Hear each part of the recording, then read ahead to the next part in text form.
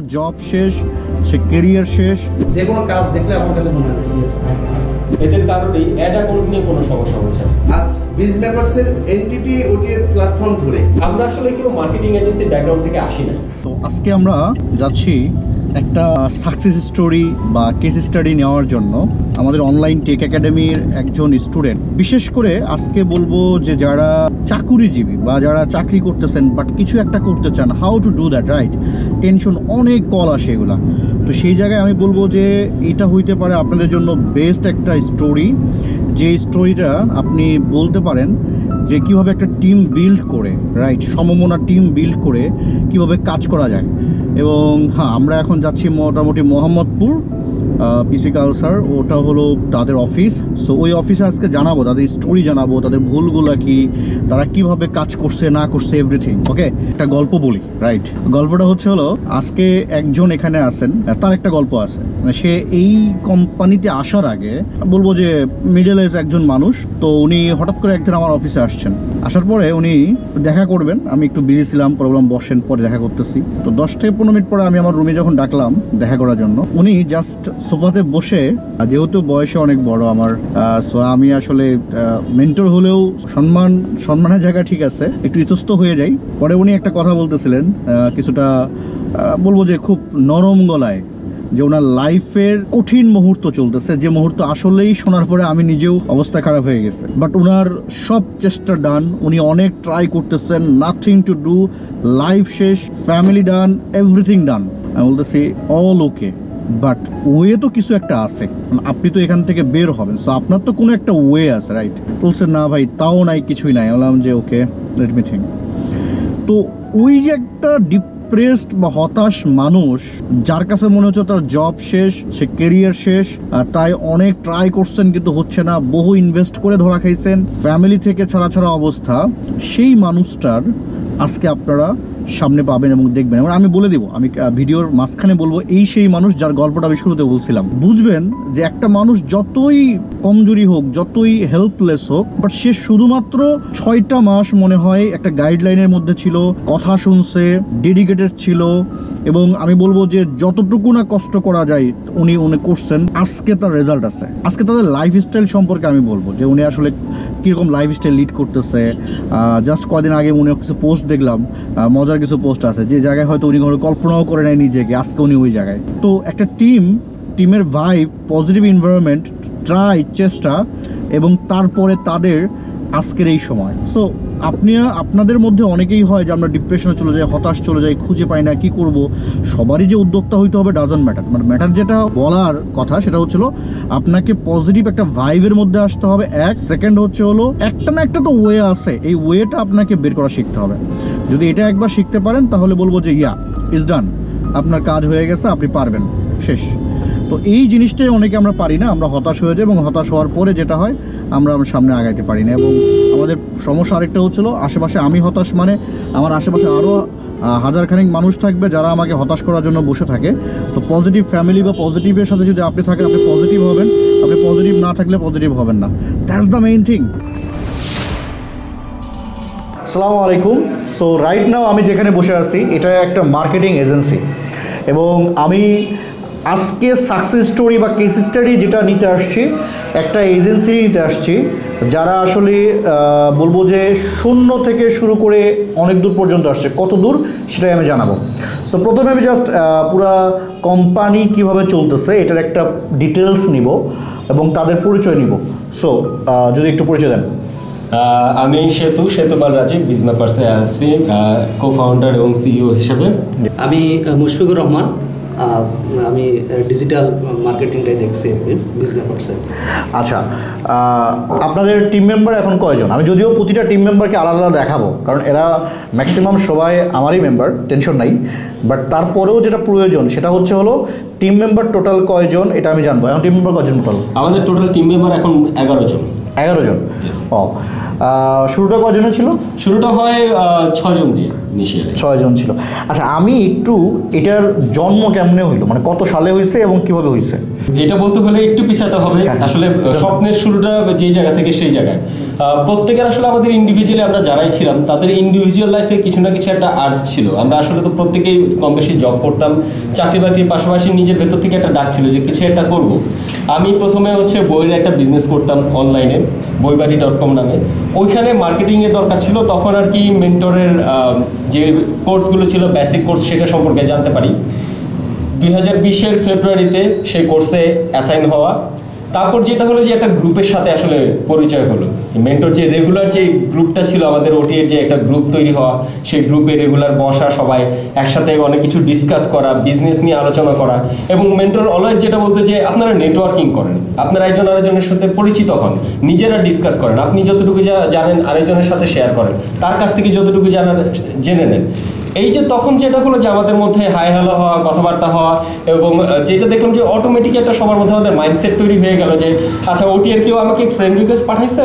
Accept করে ফেলি। তারপর হচ্ছে নক দেওয়া আর নক দেওয়াটা থাকতে এরকম যে হ্যালো ভাই আমি ওটির আরে ভাই আপনি ওটির ভাই আমি এটা ওই জায়গায় আছি। আপনি কেমন আছেন? চলে আজকে একটু দেখা করি। কি কোভিড কি মানে যদি একটু চান্স পাওয়া যেত আমরা কিন্তু মিট করতাম দেখা করতাম।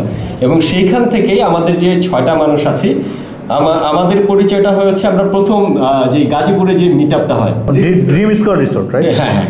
ওই রিসোর্টে যাওয়ার পথে বাসে যে পরিচিত হয়। আমার এখন মনে আছে মানে বৃষ্টির মধ্যে মানে হালকা ভিজা ভিজা হয়ে আমি হচ্ছে যাত্রী ছাউনিতে গেলাম ওইখানে। রাজনদার সাথে আমার প্রথম পরিচয় হয়। আচ্ছা। তারপর আর কি একজনের সাথে আরেকজনের কথাবার্তা বলা তারপর হচ্ছে যখন যে আমরা বসলাম এক টেবিলে আমি ছিলাম আমার সাথে রাজনদা ছিল সৌমিনদাও ছিল তাদের সাথে কথা বলা জানলাম যে একই এরিয়াতে থাকি। দেন আমাদের টুকটাক দেখা হওয়া নিজেরা বসা, যে কে কি করছি, আসলে সামনে কি প্ল্যান এগুলো নিয়ে শেয়ার টেয়ার হতো। এর মধ্যে আসলে মূল আমাদেরকে একসাথে করা, জড়ো করার জায়গাটা ছিল রাজনদা। রাজন হি ওয়াজ দ্য ম্যাগনেট তো রাজনদার আসলে আমরা ওটির যে কয় যে কয়জন আমরা আজকে এখানে কোফাউন্ডার হিসেবে আছি বিজ ম্যাপার্সের তাদের সাথে ইন্ডিভিজুয়াল কানেকশন ছিল, যোগাযোগ ছিল। সেখান থেকেই দেখা গেল যে রাজনদা আর রোকন তাদের মধ্যে একটা আগে থাকতে পরিচয় ছিল। সেখান থেকেই হয় যে নিজেরা কি সেটা করা যায় মার্কেটিং এজেন্সি করা যায় কিনা। তারপর ওইখান থেকে আলাপচারিতা হয়ে সেটা বাকিদের সাথে শেয়ার করা, জানানো। এক সময় রোকন একটা নাম দিল যে আমরা এটা বিজ একটা নাম দিতে পারি। আমি তখনও এই- এইখানে জয়েন করি নাই। প্রথমে যখন এই পাঁচজন মিলে তারা শুরু করে তো এরকম মিটিংটা ছিল যে সেপ্টেম্বরের শুরুতে মিটিংটা হয়। দুই হাজার বিশের সেপ্টেম্বরের শুরুতে মিটিংটা হয় যে অনলাইনে যে কিছু একটা করি নিজেরা তখন রকম নাম দেয় যে বিজ ম্যাপার্স যে এই- নাম দিয়ে আমরা একটা কিছু করতে পারি সৌমেন্দ্র তখন তো তখন তো আপনাদের কোনো অফিস ছিল না। আমাদের জাস্ট শুরু রাইট জাস্ট শুরু। আচ্ছা। এবং আমাদের প্রথম অফিস ছিল হচ্ছে রাজনদার বেডরুম। সেখানে সবাই একদিন ওই যে একটা বিছানা ওই বিছানার মধ্যে সবগুলো মানুষ একসাথে বসে ওইখানে বসে কাজ করা। আমরা ছবিও দেখাতে পারব আমাদের আছে সেই ছবি। তবে আমাদের আরেকটা অফিস ছিল যেটা আমরা বলি এই ছবি আছে সেটা হচ্ছে সূচনা কমিউনিটি সেন্টারের পাশে একটা গলি আছে। সেই গলিতে একটা চায়ের দোকানের পাশে একটা ওই যে সুয়ারেজ পাইপ আছে না? ওইটা রাখা ছিল। ওই সুয়ারেজ পাইপের উপরে বসে আমরা একসাথে ল্যাপটপ নিয়ে চা খেতে খেতে সেখানে বসে টাইম টু টাইম কাজ করা কোনো কিছু পিচিং রেডি করা ওই সো বলব যে ওই ফুটপাতের চায়ের দোকানের যে সুয়ারেজ পাইপ ছিল ওইখানে বসে শুরু করা। আচ্ছা। তারপরে তো আস্তে আস্তে ধীরে ধীরে এই জায়গাটাতে আসা। আচ্ছা মুশফিক ভাই কবে ঢুকছেন? আমি ঢুকছি দুই হাজার বিশের আমাদের লাস্ট যে সিক্স সিজন গুলশানে যে হলো। তারপরেই ঢুকছি আর কি। আচ্ছা। তো এর আগে সবার সাথে তো ওডিএতে পরিচয় ছিল। বাট রাজনদার সাথে আমার পরিচয় হলো যশোরে আমরা একটা মিট আপ করছিলাম। তো রাজনদার সাথে ওইখানেই ফিজিক্যালি পরিচয় আর কি। তো রাজনদা তখন ওইখানে পরিচয় হওয়ার পরে যখন ঢাকায় যে প্রোগ্রামটা হলো হওয়ার পরে রাজনদা প্রস্তাব করল যে ঠিক আছে আমরা একটা এজেন্সি করতেছি তাহলে আপনি আসেন একসাথে আমরা কাজ করি। সেই সময় আমার ঢোকা আর কি। আচ্ছা। বাট একমাত্র আমি মনে হয় যে বাকি সবাই ঢাকায় থাকতো আমি হচ্ছে ঢাকার বাইরে থাকতাম। যার জন্য আমার অনলাইনে ছাড়া যোগাযোগ করার কোনো কমিউনিকেশন ঢাকায় এসে থাকলেন কই? ঢাকায় এসে আমি রিসেন্টলি অর্থাৎ নভেম্বর মাসে ঢাকায় আসি আর কি। তো ঢাকায় আসার আসলে ওরকম থাকার জায়গা দুই হাজার বিশ না একুশে? এটা হলো দুই হাজার দুই হাজার একুশে। একুশের দুই হাজার একুশের নভেম্বরের সতেরো তারিখে। আপনারা তো এক বছর কাজ করতেছিলেন রাইট আমরা কাজ করছি আর উনিও এক বছর পরে জয়েন করছেন। আচ্ছা উনি অনলাইনে ছিল ওখান থেকে। তারপরে একুশে আপনি সরাসরি টিমে আসলেন। সরাসরি টিমে তো আসলে আমি একটু জানতে চাই যে আপনাদের শুরুটা কি খুব ভালো ছিল না শুরুতে কোনো স্ট্রাগলের কোনো ক- কথা আছে? যে শুরুটা কীভাবে করলেন? আসলে শুরুতে মানে যেটা হয় শুরুতে ক্লায়েন্ট পাইছিলেন কি পাইলেন না বা ক্লায়েন্টকে কি ক্লায়েন্টের জায়গা থেকে হচ্ছে যে শুরুতে আমরা ছিলাম যে মার্কেটিং এজেন্সি আমরা three sixty degree marketing agency so আমরা সবই করতে পারব। আমরা হচ্ছে ডিজিটাল মার্কেটিংও করতে পারব কারও যদি মানে সো কল্ড এখন এখনকার যে নর্মাল এজেন্সিগুলো যে কাজ করে agency গুলো যে- ভাই আমি আপনার দুনিয়ার মানে কাপড় ধোয়া থেকে শুরু করে আমি মানে আমিও সব আমি মুচিও আমি সব কিছু করি। একদম that's the that's the problem right এটা আপনারাও শুরু করছিলেন এটা আমরাও শুরু আমি না করছিলাম। কিন্তু আমাদের মনে ছিল যে না আমরা মার্কেটিং এজেন্সি সবাই যা করে আমরাও তাই করব আমাদেরও বিগ ড্রিম সো ওইখান থেকে শুরু করে আমাদের চ্যালেঞ্জের মধ্যে একটা ছিল যে one of the thing was capital দ্বিতীয়ত হচ্ছে যে এক একজন এক এক জায়গায় মুশিবাই ছিল হচ্ছে সাতক্ষীরাতে আমরা কয়েকজন ঢাকায় কেউ উত্তরা কেউ নারায়ণগঞ্জে সো একসাথে হওয়া হচ্ছিল না বসা হচ্ছিল অনলাইনে প্রথম যখন অফিস নেই খুব ছোট করে একটা অফিস নেওয়া এক রুমের এক টেবিলের একটা অফিস টেবিলটাও ছিল হচ্ছে ভাড়ায় নেওয়া টেবিল আমাদের নিজেদের টেবিলও ছিল না। তো যে রুম থেকে মানে যে যাদের অফিস থেকে একটা রুম শেয়ার করলাম তাদেরই বলল যে ভাই একটা টেবিল দেন আমাদের একটা টেবিল লাগবে। দিল। দিয়ে ওইখানে শুরু করা। ওইখানে প্রথম যে চ্যালেঞ্জগুলো ছিল, প্রথম চ্যালেঞ্জ ছিল যে ক্লায়েন্ট পাওয়া। তো কে আমাদের কাছে আসবে? আমরা তো চাচ্ছি যে কর্পোরেট ক্লায়েন্ট নিয়ে ডিল করতে কারণ আমাদের তো একটু মানে ফার্স্টেই থাকে না যে শুরুতে একটু ভাইব থাকে একটু না কুচা স্বভাব থাকে যে ধরলে বড়টা ধরবো দ্য বিগ ফিশ হ্যাঁ, হ্যাঁ। সো তারা তো পোর্টফোলিও দেখে যে না আসলে এদেরকে কাজ দিব না। তারপরও আমরা একটা কাজ শুরু করে এটা কফি শপ তারা নতুন লঞ্চ করবে। আমরা কিছু কাজ তাদের দেখালাম তাদের পছন্দ হলো। সেখানে আমাদের অবশ্য ইনিশিয়াল কিছু ইনভেস্টমেন্টও গেল শুরু হওয়া ওইখান থেকে। তারপর আরও দুই একটা করে ক্লায়েন্ট আসা। প্রথম যে চ্যালেঞ্জ সেই চ্যালেঞ্জটা হচ্ছে যে আমরা আসলে এক এক দিকে দৌড়াদৌড় শুরু করলাম। কোনো জায়গায় ব্র্যান্ডিংয়ের কাজ, কোনো জায়গায় অফিসে মেকিংয়ের কাজ, কোনো জায়গায় সেলসের কাজ এবং আলটিমেটলি যেটা হচ্ছিল যে কোনোটাই হচ্ছিল না। আসা শুরু করল একটা মানে এটা এটা আমার ভাষায় আমি বসে বলি যেটা হলো হাতুড়ে ডাক্তার রাইট সো মেইনলি হচ্ছিল সব কিছু চিকিৎসা জানে কিন্তু ultimately not a specialise specialise ওটা তো আপনার ভুল ছিল আপনারা মানতেছেন রাইট যে আসলে প্রথম যারা এজেন্সি করেন বা যারা করবেন তারা এই জিনিসটা শুধু এজেন্সি না এনি কাইন্ড অফ বিজনেস আমাদের এটা প্রবলেম যেটা সেটা হচ্ছিল আমরা হিউজ পরিমাণের জিনিস নিয়ে কাজ করি। এটা করি ওটা করি এটা করি সব কিছু আমরা করতে চাই মনে করি সব কিছু করলে মনে হয় টাকা বেশি। আলটিমেটলি ওটিএ থেকে যে জিনিসটা আমাদের শেখানো হয় সেটা হচ্ছে হলো বা আমি যেটা সবাইকে বলা ট্রাই করি যে স্পেশালাইজড হতে হবে একটাতে তারপরে আপনি এক্সপ্যান্ড করবেন অন্যগুলাতে। তো এই জিনিসটা আমার খেয়াল আছে যে আপনাদের মোটামুটি এই অফিসটা এর আগে আমি আসছিলাম কতদিন হচ্ছে প্রায়? সতেরোই মার্চে সতেরোই মার্চ এই বছরে দুই হাজার বাইশ। দুই হাজার তখনও বিজ ম্যাপার্সের অবস্থা চলতেছিল আমি বলব চলতেছিল না ক্লায়েন্ট পাচ্ছিল বাট তারা এক জায়গায় আটকায় আছে।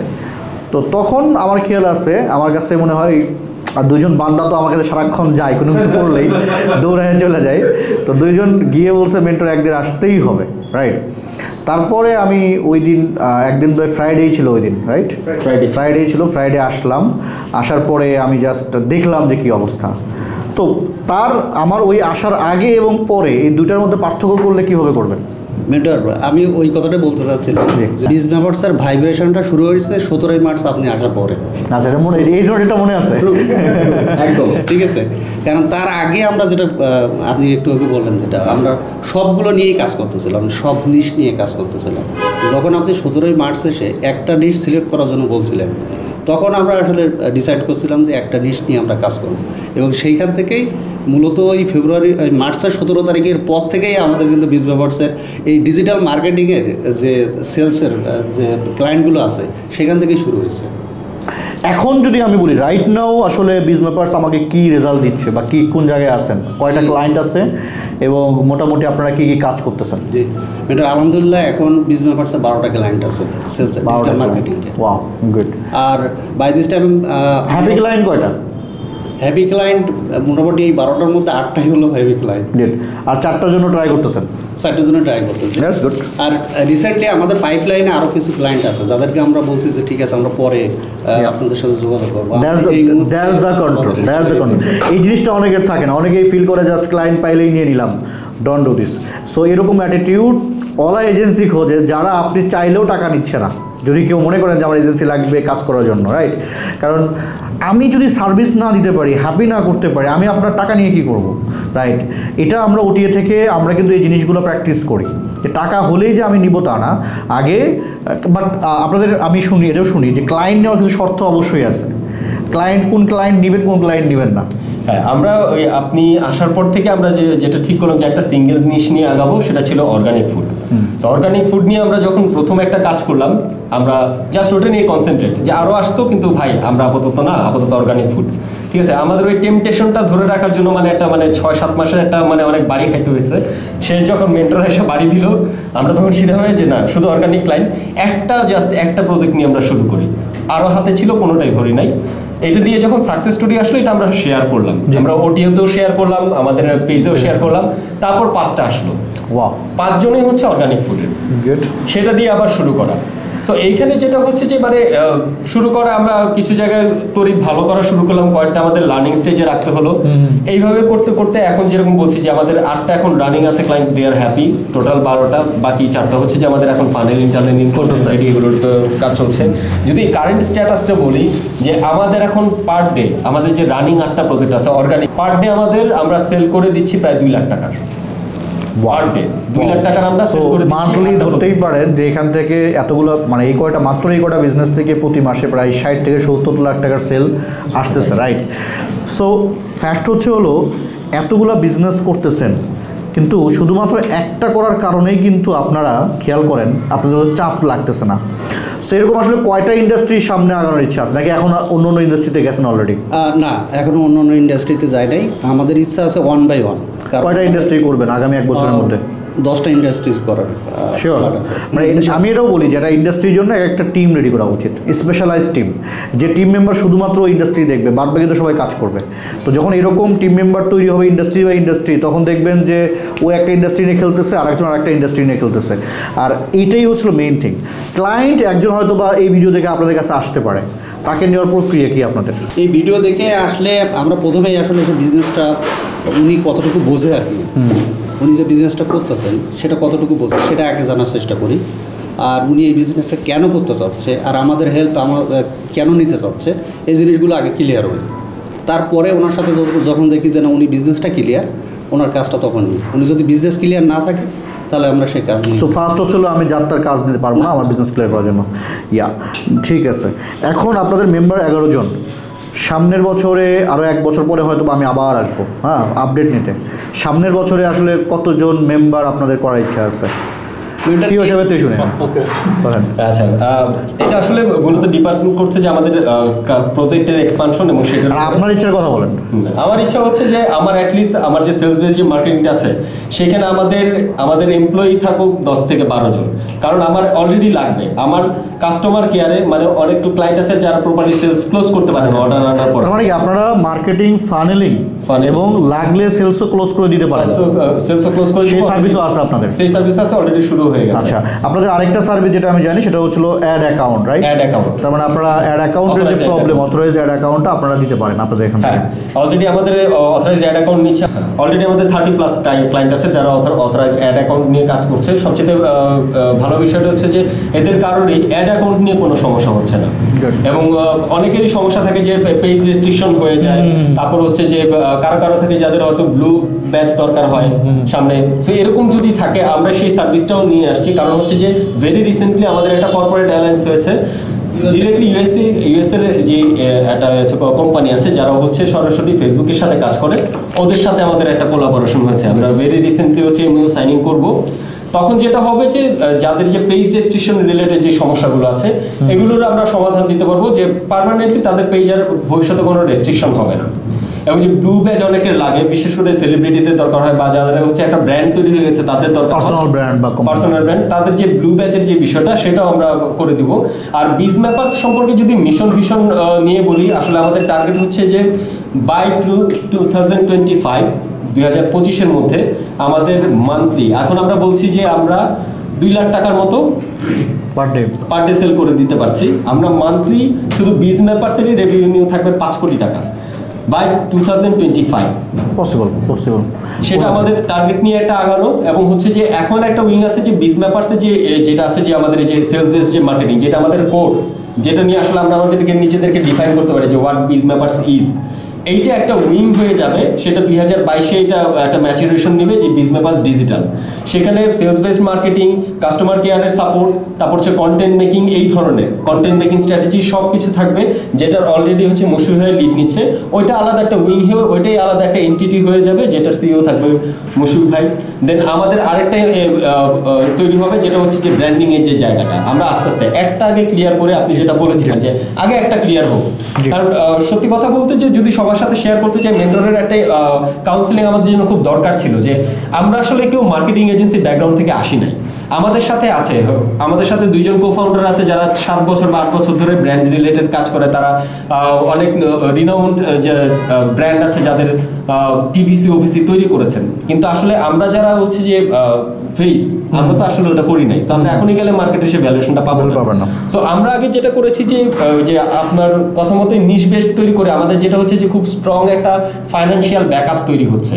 যে বিজ ম্যাপার্স এখন সে নিজেই চলতে পারে শুধু চলতে পারে না আগামী একটা বছরের জন্য সে যে নিজেকে চালাবে তার যে হিউম্যান সাপোর্ট দরকার লজিস্টিক সাপোর্ট দরকার তার যে অফিসের যে সাপোর্ট দরকার তার যে কস্টিং সেটা স্বয়ং সম্পূর্ণ করে ফেলছে Biz Mappers only through this niche choice করা একটা নিশ নিয়ে আগানো এবং ইটস অ্যাকচুয়ালি ম্যাজিক্যাল মানে ইটস লাইক ম্যাজিক মানে এটা আমরা নিজেরা ভাবি না যে মানে বিশ্বাস তো আসলে হয় না করলে পরে বোঝা যায় যে আপনারা যখন আসলেন বসলেন বলে যে শুরু করেন এটা নিয়ে শুরু করেন এটা নিয়ে শুরু করলে হবে। ওই যে বিশ্বাসটা নিয়ে যে শুরু করলাম তারপর হচ্ছে জাস্ট রমজান মাসটা শেষ হইতে হইতে মানে আমাদের আসলে। ফলাটা শুরু হলো আমাদের চান্দার লাগে গেল। এখানে এখানে একটা জিনিস বলে রাখি ওটিএরও অনেক মেম্বার এটা দেখবে যারা সিলভার মেম্বার তারাও দেখবে গোল্ড মেম্বার তারাও দেখবে। বাট একটা কথা হচ্ছে কি যে ওনারাও কিন্তু ওটির একদম শুরু থেকে আসছে কিন্তু ওনারা কিন্তু দেড় বছর কথাটাকে ওইভাবে ওরা চলছে এমন না যে আমার ডিসকানেক্ট বাট ভাইভটা অন্য ছিল ওইভাবে মানতে পারে না বাট ওই যে সিস্টেমে এসে মানার পরেই কিন্তু ওনাদের সব কিছু চেঞ্জ হয়ে যায়। তো এই জিনিসটা হচ্ছিল ম্যাটার আমি হয়তো বা সিও বা মুশফিক ভাই যেই বলুক দিন শেষে কথা হচ্ছে হলো যখন কেউ বলতেছে বা আমি যখন কোনো কথা বলি অনেকের সাথে দেখি ঠিক আছে মেন্টর মানতেছি তারপরে হয়তো মানা হয় না বিজনেসে ফেল করে আবার চলে আসে। সিম্পলি তখন আমার খারাপ লাগে যে এই লোকটা যদি ওটা মানত। একটা কোম্পানি না, আমি অনেকগুলো যখন কোম্পানির কাজ করতেছি আমি, এতগুলা প্রতিষ্ঠানের সাথে জড়িত, এতগুলা বিজনেসম্যানদের আমি হেল্প করতেছি, তো তখন এই জিনিসটা কমন তো আলটিমেটলি এই কাজটা করবেন না। যদি মনে হয় যে না, শুনব কথা, তো হান্ড্রেড পার্সেন্ট শুনব, না হলে কি? শুনব না রাইট কারণ আলটিমেটলি এই শোনাটাও যদি আরও এক বছর আগে হইতো তাহলে আজকে বিজমেপার এখন দুই লাখ টাকা পার ডে সেল করতেছে মাসের ষাট থেকে সত্তর না ওরা হয়তো বা আরও পাঁচ কোটি দশ কোটি টাকা প্রতি মাসে ইজিলি সেল করতে পারতো। আমি বিশ্বাস যে আগামী এক বছরের মধ্যে এটা অনায়াসেই হয়ে যাবে ব্যাপারই না। আর আমি শিওর যখন আপনি বারোটা ক্লায়েন্টের কাজ করতেছেন বারোটা ক্লায়েন্টকে আপনি যদি আপনি মোটামুটি ওয়ান করোড় টাকা তুলে দিতে পারেন তো টেন লাখ টাকা কি আপনি পাবেন না? কোনো ব্যাপার। তো ওনাদের টাকার অ্যামাউন্টে আমি না যাই শুধু এতটুকু বলি যে শুরু থেকে শুরু করে এক একটা বিজনেসে তারা যে পরিমাণ হেল্প করতেছে এবং যারা বিজনেস করছে তাদেরও হেল্প হচ্ছে। সো দ্যাটস ক্রেজি যে অনেকে এটা চিন্তাও করে না। হ্যাঁ বাংলাদেশে অনেক এজেন্সি আছে। কী টাইপের এজেন্সি ডলার এজেন্সি কত করে রেট ডলার এত টাকা রেট রেট আসেন বিজনেস করি। বুস্ট করে দেন বুস্ট করি। এরা হচ্ছে হলো, তারা নিজেরাও জানে না। আপনাকে কি শেখাচ্ছে তারাও জানে না। আপনার জন্য কি করবে এটাও জানে না। এবং আপনার বিজনেস তো ওরা বুঝবেই না। এক কোনো প্ল্যানিং নাই ফানেলিং নাই, আপনি ডলার খরচ করতেছেন সেল হচ্ছে না, দৌড়ে আসেন বাই সেল হয় না, হুদয় হুদয়, ওই এজেন্সি খারাপ, ওরা তো ডলার নিল, সব নিল, কিন্তু কাজ করল না। কেন হবে? একটা এজেন্সির কাজ হচ্ছে সার্ভিস দিয়ে টাকা নেওয়া ডলার সেল করে টাকা নেওয়া। সার্ভিসের ভিতরে কন্টেন্ট থাকে ফানেল থাকে প্ল্যানিং থাকে রিসার্চ থাকে অ্যাড রান থাকে, তারপরে কাস্টমার কেয়ার থাকতে পারে সেল থাকতে পারে, অনেক কিছু, আলাদা আলাদা জিনিস এগুলো। তারপরেই কেবল একটা এজেন্সি সো আমি মনে করি বিজ ব্যাপারসের অনেক ভুল আছে I know that but they are growing right now তারা আসল ট্র্যাকে আসতেছে, কাজ করতেছে নেটওয়ার্কিং করতেছে। হোপফুলি তারা আগামী এক বছরে যে প্ল্যানটা করতেছে বা পাঁচ বছরে যে প্ল্যানটা করতেছে, এটা অ্যাচিভ হয়ে যাবে ইনশাল্লাহ তারপরেও আমি শুরুতে একটা গল্প বলছিলাম আমার গাড়িতে। সেই গল্পের যে নায়ক, সেটা হচ্ছিল এই মুশফিক ভাই। এটা আপনিও জানেন না, ভিডিও দেখে বুঝবেন। একটা, আমি গাড়িতে আসার সময় একটা গল্প বলছিলাম। তো গল্পটা মানে জাস্ট আমি বলছিলাম যে আমি যখন সামনে বসবো, আমি চিনাই দিব। এই সেই লোকটা আর কি রাইট কারণ গল্পটা তো আপনারা শুনে আসছেন, এখন জাস্ট মিলায়েন রাইট মুশফিক ভাইও জানে না যে আমি গল্পটা বলছি রাইট ওকে সো এই হচ্ছিল কোম্পানির কথা। আমি এখন যেটা করব যে বিজ ব্যাপার্সের অন্য অন্য মেম্বার যারা আছে, তাদের থেকে শর্ট একটা ইন্ট্রো নিব, যে তাদের আসলে জার্নিটা কোথেকে এসে তারা কোন পর্যন্ত আসছে।